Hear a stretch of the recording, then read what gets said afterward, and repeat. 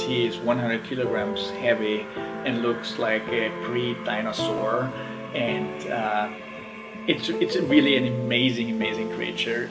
So when people see these alligator snappers, they are fascinated. My name is Peter. I'm a biologist and I'm highly specialized in turtles and tortoises. The mission to work with turtles and save turtles from extinction I had from very early childhood on.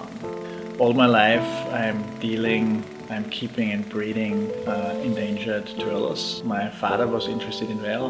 The first turtle he got when he was 12 years old, so it started almost 60 years ago.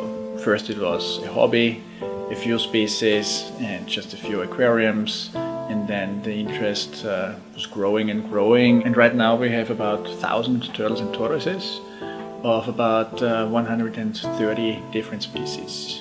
Some of them are critically endangered. Of a few species we have the only specimens in captivity. So I feel this responsibility to take care of them, to breed them and also to bring them back into the wild. This is our mission.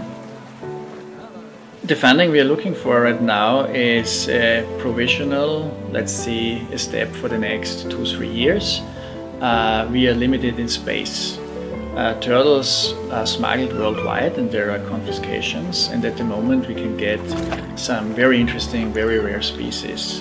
And for these species we need to rent additional space in a greenhouse and uh, I want to establish their tanks with filtration, with basking light, with nesting beaches, and that deserves some kind of money, which will be around uh, 25 30,000 euros.